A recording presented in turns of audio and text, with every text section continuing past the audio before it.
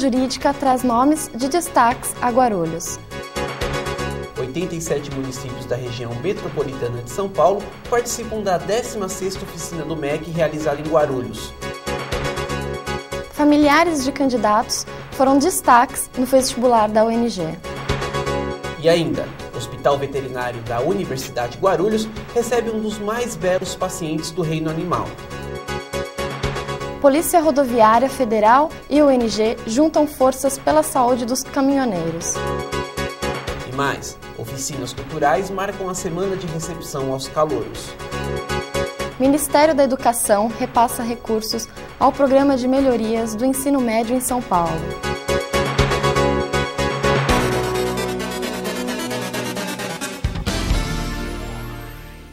Em solenidade comemorativa aos 35 anos da Universidade de Guarulhos, realizada em agosto último, os Correios prestaram uma homenagem à instituição com o lançamento de um selo e carimbo alusivo à data. A história da Universidade Guarulhos foi contada com entusiasmo para uma plateia de mais de 500 pessoas na semana em que se comemorou os 35 anos de vida da instituição. O chanceler Antônio Veronese e o reitor Valmor Bolan dividiram com os convidados a trajetória da UNG. Como resposta, a plateia aplaudiu. No entanto, enganou-se quem pensou que as homenagens para a universidade, que hoje tem mais de 18 mil alunos, pararia por aí.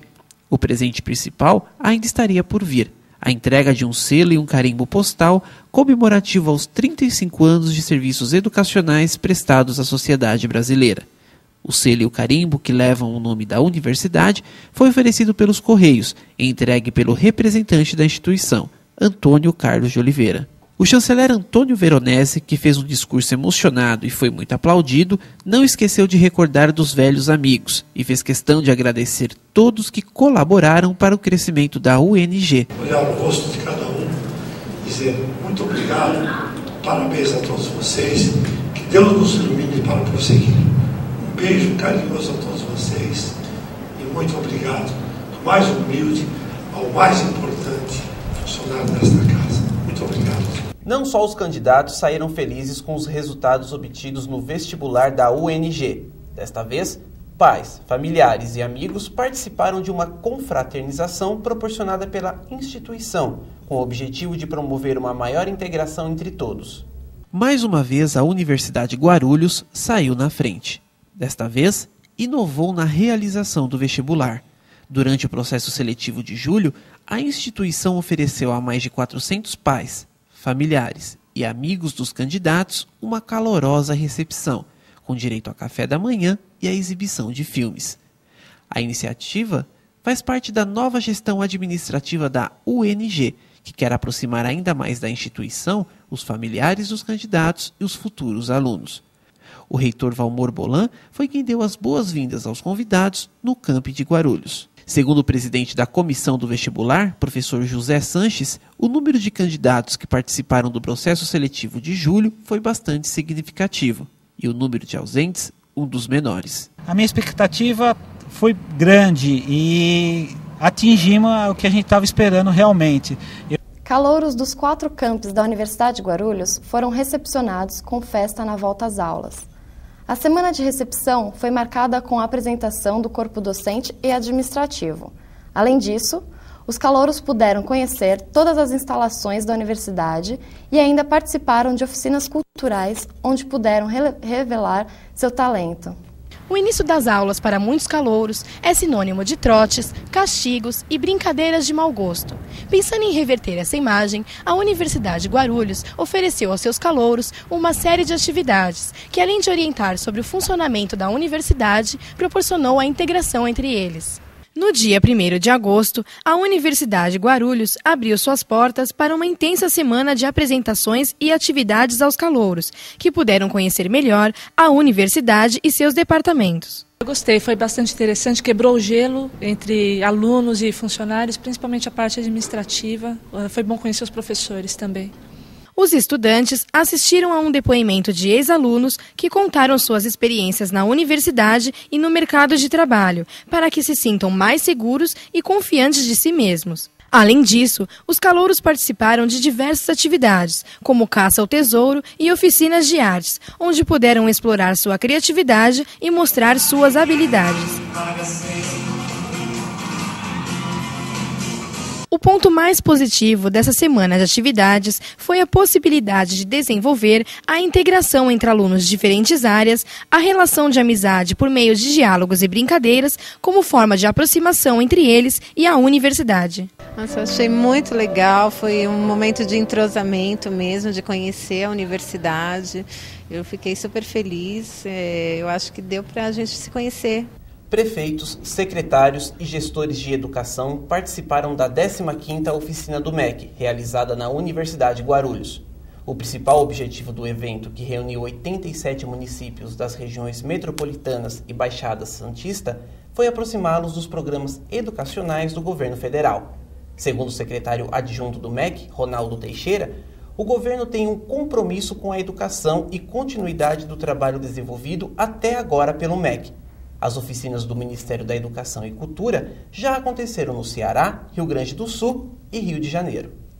A Universidade Guarulhos foi palco da 15ª oficina do MEC, Educação e Desenvolvimento Regional, realizada pelo Ministério da Educação com o objetivo de aproximar os municípios das políticas educacionais da União. Mais de 150 pessoas entre prefeitos, secretários e gestores de educação participaram do encontro em Guarulhos. Desde abril na estrada, essa oficina é uma realização importante para garantir o acesso dos municípios aos programas educacionais do governo federal. Estados como Ceará, Rio Grande do Sul e Rio de Janeiro receberam de forma experimental a oficina do MEC, que foram realizadas com o apoio da União Nacional dos Municípios e das Secretarias Estaduais de Educação que se não for uma parceria como nós temos feito, né, governo federal, governo estadual e governo municipal, não há educação nesse país que possa ser bem feita. Realizada no auditório da UNG, a apresentação da oficina foi feita pelo secretário executivo adjunto do MEC, Ronaldo Teixeira. O desafio do ministro Fernando, é claro, é ainda maior para dar sequência a inúmeros programas, inúmeros projetos que foram apresentados à nação, acolhidos através de um amplo debate com o DIB, com o SED, né, com os secretários estaduais, com os secretários municipais. E isso tem resultados. E agora nós precisamos colhê-los, sobretudo aqui nesse encontro. Entre os temas discutidos nas diversas oficinas estavam o Fundo de Desenvolvimento e Manutenção da Educação Básica, o Fundeb, a importância da distribuição de livros didáticos, oferecimento de transporte escolar, além do EJA, Educação de Jovens e Adultos. E no próximo bloco, Semana Jurídica da UNG.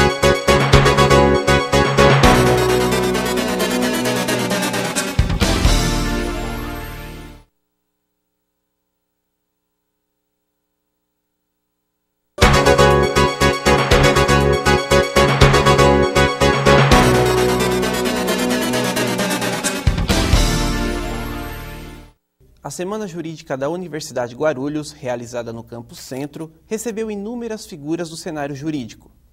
O evento teve a finalidade de promover o intercâmbio entre alunos, professores, profissionais da área, abordando temas como a carreira jurídica e policial, reforma do judiciário, transexualismo, criminalidade e sua prevenção. Quem também marcou presença foi o advogado e criminalista Dr. Antônio Cláudio Maris de Oliveira, que falou de criminalidade e prevenção. Estamos perdendo a capacidade de discernir o que é bom, o que é ruim, o que é certo, o que é errado. Estamos dando à mídia um crédito que a mídia não pode ter, porque a mídia é constituída por homens, homens como nós, falíveis. E o crédito que damos à mídia é o crédito da verdade axiomática. Com a palavra, o reitor. Senhores telespectadores, senhoras telespectadoras, é com grande satisfação que, na condição de reitor da Universidade de Guarulhos, da nossa querida UNG, que completa nesse ano 35 anos de serviço à comunidade local e regional, por ocasião desta abertura do jornal UNG da TV Guarulhos, nossa parceira a partir deste momento, sobretudo na área do jornalismo televisivo. Agradecemos aos diretores dos cursos, professor Edson, professor Sidney, aos alunos que estão imensamente envolvidos nesta tarefa de oferecer um bom programa informativo a toda a comunidade local e regional. Agradecemos ao nosso chanceler, o professor Antônio Veronese, como um grande empreendedor que é, que abre mais uma porta né, de conversa e de serviço à nossa comunidade. Neste ano, sobretudo, em que a UNG completa 35 anos de serviços e de ensino, com uma contribuição toda especial na formação de um verdadeiro exército de educadores para a região, que hoje ultrapassa a mais de 10 mil professores formados por esta universidade que labutam nos sistemas básico e superior de ensino. Agradecemos a confiança e espero que possam tirar muito proveito do jornal UNG de televisão. Muito obrigado. Universidades privadas de todo o país descumprem a Lei de Diretrizes e Bases, a famosa LDB. No entanto, a UNG ficou de fora desta triste realidade. Segundo o que prega a lei, as instituições privadas devem ter ao menos um terço dos seus professores trabalhando em regime integral e isso a ONG vem cumprindo. A instituição, após a implantação do novo plano de carreira, que tem como política a valorização do professor, mantém mais de 33% dos seus professores trabalhando em regime integral. Além do que, 60% dos professores que atuam na ONG são mestres e doutores. Acordo entre o governo federal e estadual rende 23 milhões de reais ao Promed. Programa de Qualificação dos Professores do Ensino Médio da Rede Pública Estadual. Deste montante, 20 milhões serão revertidos para a qualificação de professores. O evento contou com a presença do ministro da Educação, Fernando Haddad, do governador Geraldo Alckmin, Gabriel Chalita, secretário da Educação e reitores de todo o país.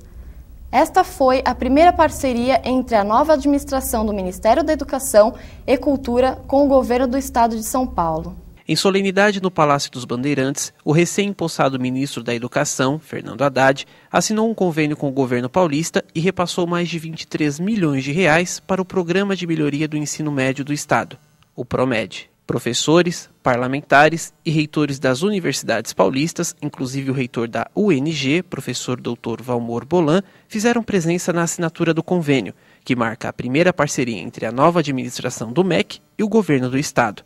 O secretário de Educação de São Paulo, Gabriel Chalita, diz que o valor repassado será somado à verba já destinada ao Promed. Esse é um convênio em que o governo federal ele dá uma, um valor né, de 23 milhões de reais, o governo estadual já deu seu valor e o BID já deu seu valor também. Então é um convênio que ao todo é um convênio de 190 milhões de reais. Esses 23 milhões de reais especificamente eles vão ser destinados quase 20 milhões à capacitação de professores, formação de professores e os outros 4 milhões vão para a biblioteca. Para o governador de São Paulo, Geraldo Alckmin, esse é um grande passo para continuar a fortalecer o ensino médio, já que a base da educação está na qualidade dos docentes. Quando se fala em qualidade da escola pública, nós não estamos falando só de prédio, de equipamento, de informática, nós estamos falando essencialmente de professor. Então, capacitação dos nossos professores, permanente através da rede do saber, teia do saber, é, curso de pedagogia, curso superior, é, pós-graduação, bolsa mestrado, enfim, é, estímulo aos nossos professores. E já que o assunto era educação, o ministro Fernando Haddad aproveitou para enfatizar que a administração Lula, mesmo em meio à crise, tem feito a lição de casa. Olhar para trás daqui a 20 anos e dizer: não, o Brasil fez a sua lição de casa na economia, fez a sua lição de casa na democracia, mas fez a sua lição de casa na educação. E veja a seguir Universidade Guarulhos presta atendimento médico aos caminhoneiros.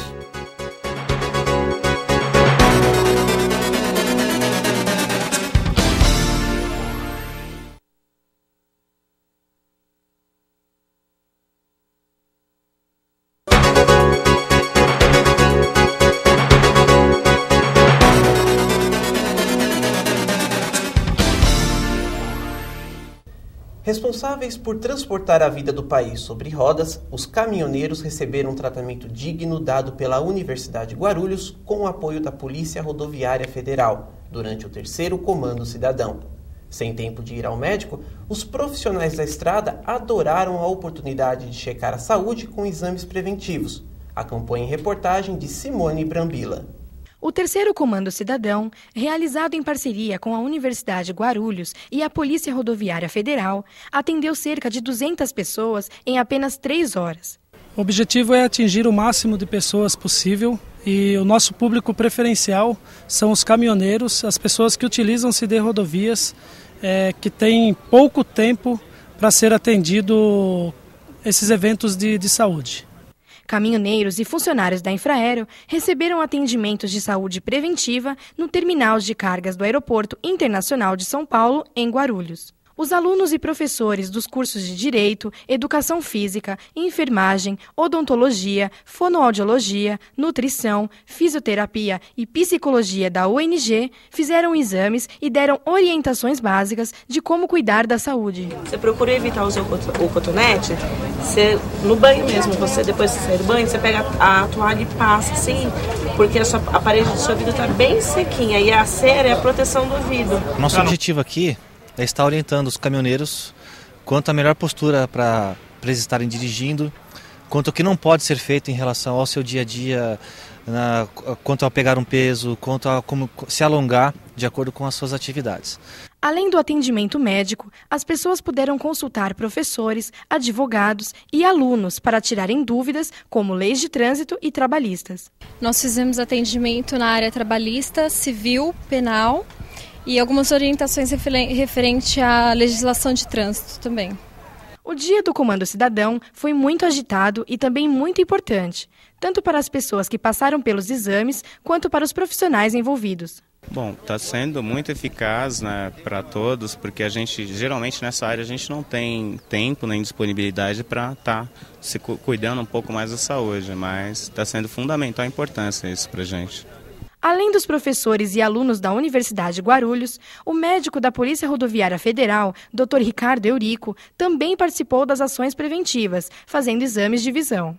Nessas campanhas a gente faz um diagnóstico geral dos caminhoneiros. Eles têm uma vida atribulada, não têm tempo para cuidar de saúde e quando a gente monta a campanha na estrada, a gente costuma pegar aí na faixa de 25 a 30% deles com problema de saúde. A orientação dada às pessoas, caso seja detectado algo, é procurar um médico e fazer o devido tratamento. De 100, só perdeu 60, só tem 40% de visão. Orientou que eu procurasse um oftalmologista, porque eu já estou com a vista meio debilitada, meio fraca. E para a continuidade dessa iniciativa, o inspetor Pontes adiantou que em outubro será realizado mais um Comando Cidadão, programado para as rodovias. O Hospital Veterinário da Universidade de Guarulhos teve sua rotina quebrada. O centro, que recebe 10 mil pacientes por ano, teve uma visita diferente, uma onça.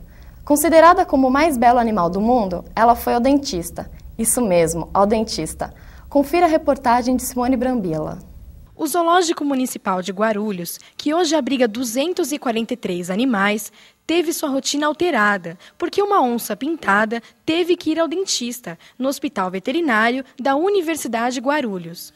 O animal começou a apresentar mudanças de comportamento em maio deste ano e, por consequência, fraturou seus caninos. Esse é um problema muito comum no cativeiro, que é problema dentário. Né? Pelo próprio tipo de alimentação, o próprio uh, estresse do cativeiro acaba levando esses animais a terem problemas dentários. Né? E o que aconteceu com esse animal foi que ele fraturou né, o canino e teve que fazer um tratamento do canal. Né? Então, é isso que a gente está indo hoje terminar. Ele já fez a primeira etapa do tratamento e hoje ele vai concluir o tratamento. Por se tratar de um animal extremamente feroz, a onça teve de ser adormecida com uma alta dose de sedativo, para garantir a segurança dos funcionários do zoológico que fizeram seu transporte até o local da cirurgia. A ação foi acompanhada por veterinários da Secretaria de Meio Ambiente e da UNG. A equipe que está uh, fazendo o trabalho é a equipe de anestesia, do serviço de anestesia, uh, através do professor Fábio Futema, que gerencia a equipe de residentes.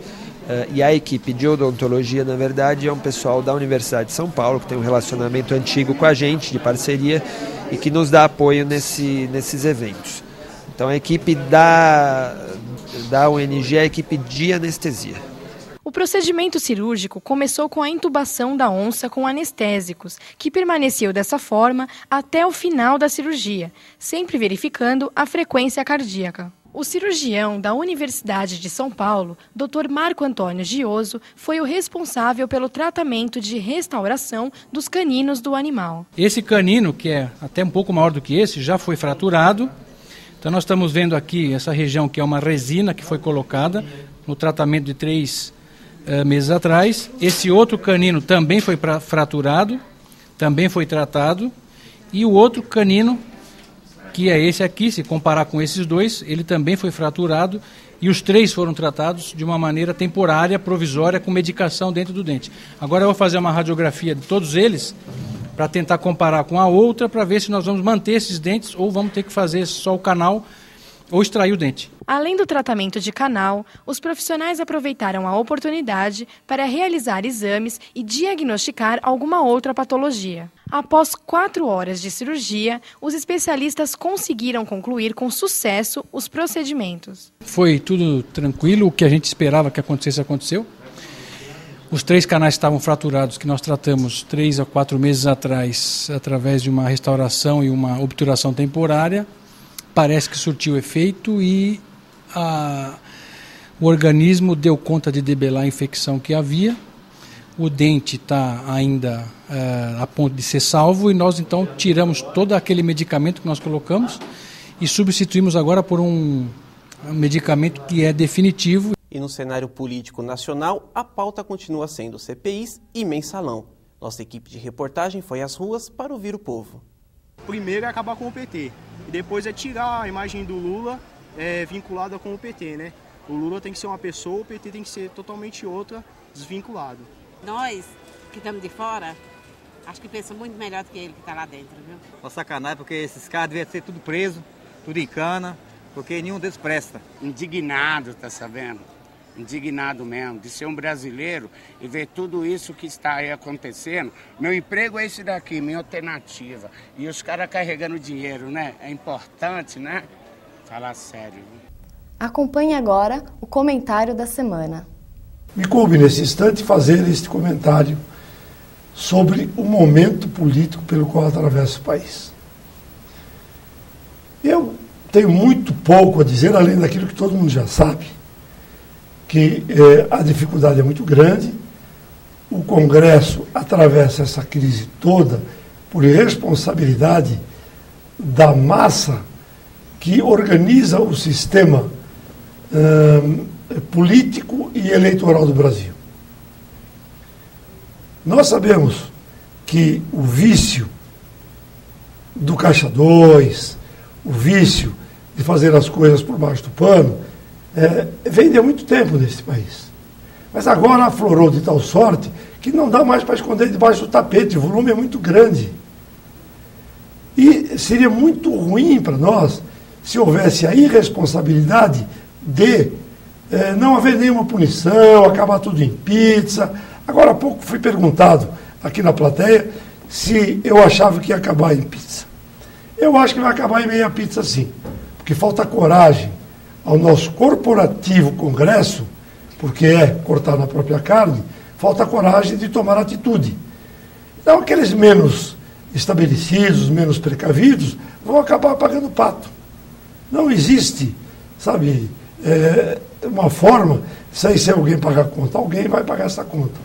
E provavelmente vai ser quem tenha menos condições de pagar. Espero estar enganado. Gostaria muito de estar enganado. Gostaria muito de ser contestado e de que houvesse é, uma correção nos rumos do sistema político deste país. Isso não me cabe, não cabe a você sozinho, cabe a todos nós. Termina aqui o jornal UNG. Obrigado pelo carinho da sua atenção e até a nossa próxima edição. Obrigada.